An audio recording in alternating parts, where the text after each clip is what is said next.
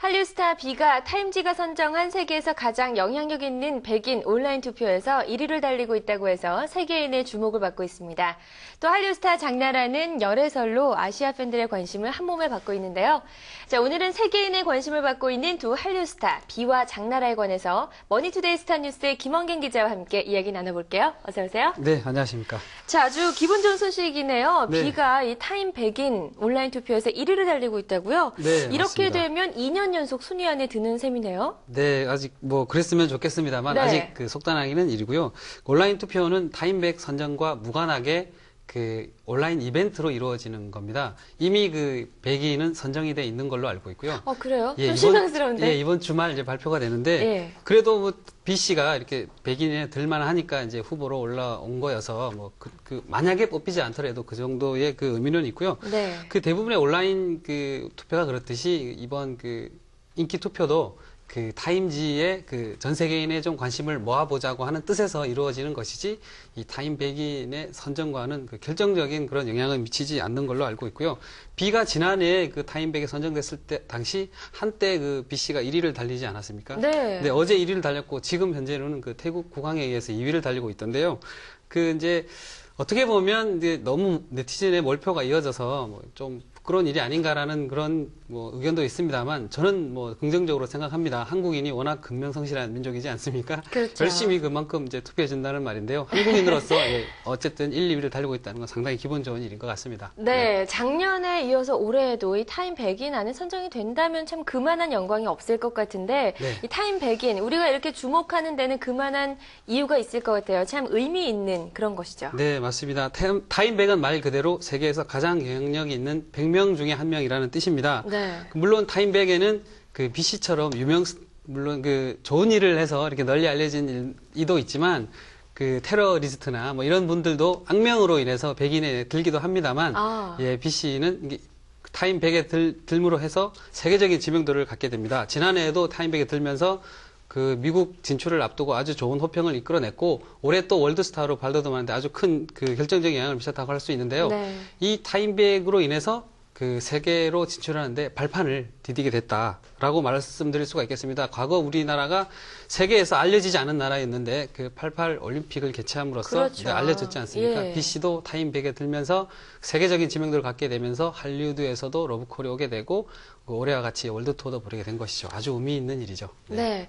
가수 비는 이 미국 투어도 또 앞두고 있다는 얘기를 들었어요. 네. 한국 가수가 미국에서 투어를 벌인다는 건 참 대단한 일이 아닐 수가 없는데 네. 그 일정을 좀 소개를 해주시죠. 네, 비 씨는 그 오는 6월부터 미주 7개 도시를 돌게 되는데요. 일단 그 레볼루션 엔터테인먼트라는 회사와 22억 5천만 원의 미주 5개 도시 그 판권 계약을 맺었습니다. 아주 네. 큰 돈을 받고 계약을 했는데요.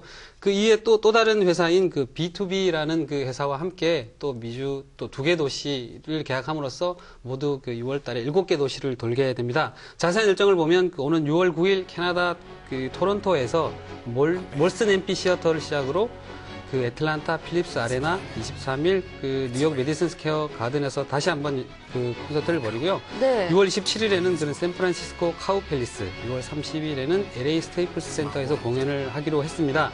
캐나다 밴쿠버와 하와이 공연은 아직 그 장소를 논의 중인 것으로 알려졌는데 비가 미국에서 공연한 것은 이번이 세 번째입니다. 지난 2006년 2월 뉴욕 메디슨 스퀘어 시어터에서 처음 공연을 벌였고요. 지금 맞아요. 나오는 장면이 네. 이제 2006년 처음 벌였던 그 공연 장면입니다.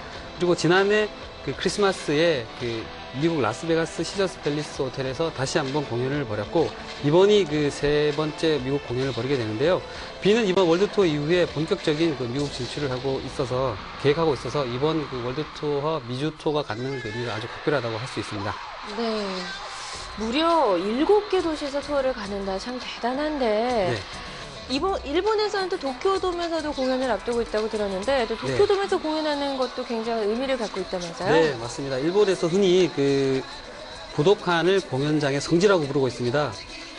그러나 그 도쿄돔은 부덕관과 또 다른 의미를 갖고 있는데요. 네. 부덕한이 그 역사와 전통을 가- 자랑하는 그 권위의 공연장. 그러니까 우리나라로 치면 그 세종문화회관이라고 그 비유할 수 있겠는데 도쿄돔은 구- 규모 면에서 아주 일본 최대의 그 공연장이라고 할 수 있습니다. 우리나라의 뭐 상암 경기장이나 잠실 주 경기장이라고에 비유할 수 있는데 네. 약 4만 명 안팎을 수용할 수 있는 도쿄돔은 지금까지 그 롤링스톤즈와 본조비, 휘트니 휴스턴, 그 마돈나, 비욘세 등 아주 세계적인 지명도 갖고 있는 스타들만이 이 무대에서 공연을 했고요. 네. 일본 내 그 스타들 중에서도 일, 그 일본 최고의 남성 그룹인 스마프와 플레이, 하마사키 아유미 등이 그 여기서 공연을 벌일 수 있었는데요. B 씨는 도쿄돔에서 예정대로 공연을 벌이면 국내 가수로는 최초로 도쿄돔에서 공연을 벌이는 그 가수가 가수로 기록됩니다. 약 3만 5천 명 정도가 모일 예정인 것 같은데요. 네. 처음에는 일본 공연 기획사도 그 도쿄돔 공연을 기획하면서 과연 3만 5천 명, 4만 명을 모을 수 있을까라는 걱정이 됐다고 하는데 그 반응이 너무 좋아서 도쿄돔도 성황리에 맞출 수 있을 거라고 뭐 그렇게 결정을 해서 도쿄돔에서 공연을 하기로 했습니다. 그래요. 미국에서 일곱 개 도시 투어, 그리고 일본에서 도쿄돔 공연 참 미국과 일본을 달린 세계적인 가수 비의 모습 너무너무 자랑스럽네요. 네, 그렇습니다. 자, 그리고 한류 스타 장나라 씨도 요즘 뭐 열애설 때문에 뜨거운데 네. 이번에 장나라 씨가 열애설의 상대인 하윤동 씨가 하윤동 씨 국내 팬클럽 창단식을 장나라 씨가 주도한다고 하더라고요. 네, 참 묘한 두 분이 참 묘한데요. 그두 사람이 계속해서 그 2005년부터입니까? 계속해서 그 열애설이 불거짐에도 불구하고 연계 마케- 마케팅을 계속해서 펼치고 있습니다. 서로의 음반에 뭐 듀엣곡을 같이 불러준다든지 아니면 서로의 음반에 뮤직비디오의 주인공으로 출연해준다든지 아주 두 사람이 열애설을 어떻게 보면 이용하는 것 같기도 하고 어떻게 보면 즐길 수- 즐긴다고도 할 수 있는데요. 지난달 특히 그 장나라 씨 지금 화면에 나옵니다만 저기 네. 그 장나라 씨가 생일을 맞아 팬들과 함께 나라사랑 운동회를 펼쳤습니다.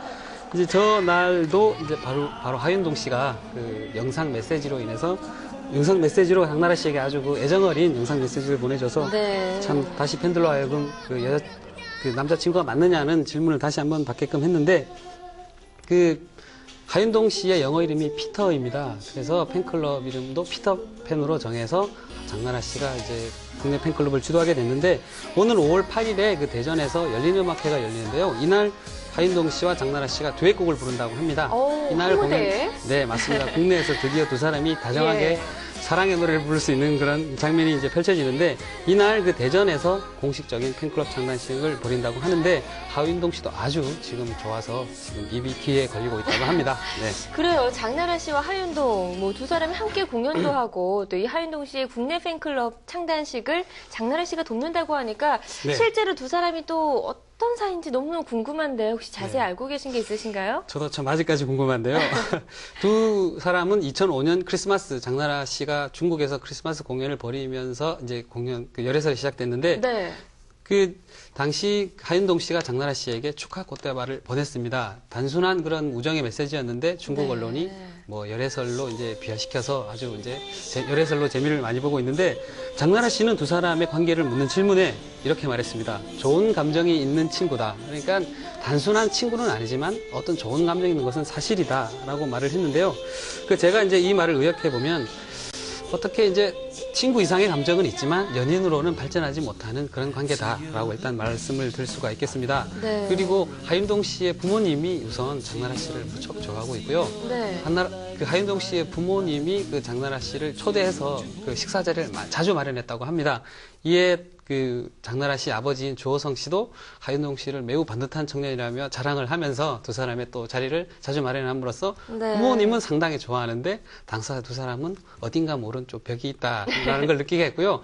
그리고 장나라 씨는 또 말이 잘 통하지 않기 때문에 교제를 깊이 하려도 할 수가 없다. 그 언어란 게 상당히 중요한데 그렇죠. 예, 그 물론 사랑은 눈빛만으로도 통한다고 하지만 두 사람은 아직까지 이제 그런 사랑으로 발전하려면 의사소통이 원활하게 돼야 되는데 예. 그, 그 정도로 의 장나라 씨가 중국어를 그 능숙하게는 하지 못해서 약간 좀 아쉬움이 있다고 하는데 두 사람이 좋은 관계임에는 분명하지만 뭐 당장 연인은 아니라고 합니다. 네.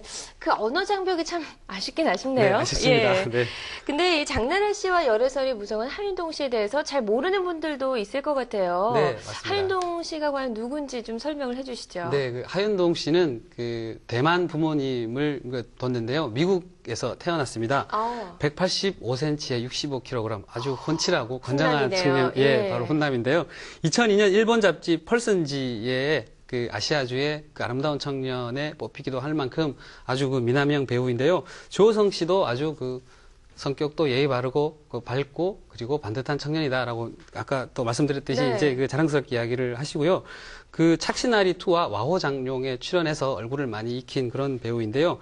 그 일단 중국과 홍콩, 대만에서 지금 활동하고 있는데 그 우리나라 배우로 좀 비유하기는 좀 그렇지만 이제 뭐 장동건 씨나 원빈 씨 같이 이제 그 아주 젊은 층들에게 인기가 좋은 뭐 그 정도의 배우라고 합니다. 네. 정말 조호성 씨가 워낙에 그 하윤동 씨를 칭찬을 많이 해서 네, 저도 거기에 물들었나 물들었나 아니, 물들은 게 아닌가 생각이 되는데 하윤동 씨는 중국에서 젊은 층에 아주 상당한 인기를 얻고 있는 배우라고 합니다. 네, 하윤동 씨에 대해서 너무 극찬을 해주셔서 듣다 보니까 장나라 씨와 좀 잘 됐으면 하는 바람이 들기도 네, 저는 하는데요. 사실 잘 됐으면 하는 바람이 있는데요. 예. 장나라 씨가 이렇게 묘한 웃음만 네, 보였습니다. 네.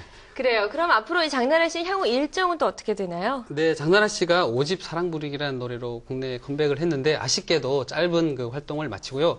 지금 영화 준비에 들어갔습니다.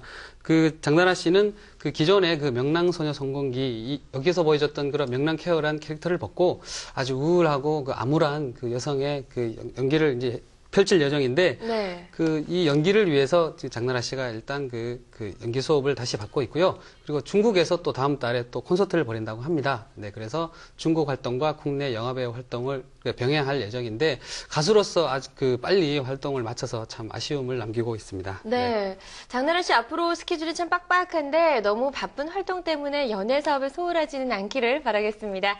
자, 스타뉴스 2부는 잠시 광고 보고 이어가고요. 김원균 기자는 다음 주에 또 뵐게요. 고맙습니다. 네, 감사합니다.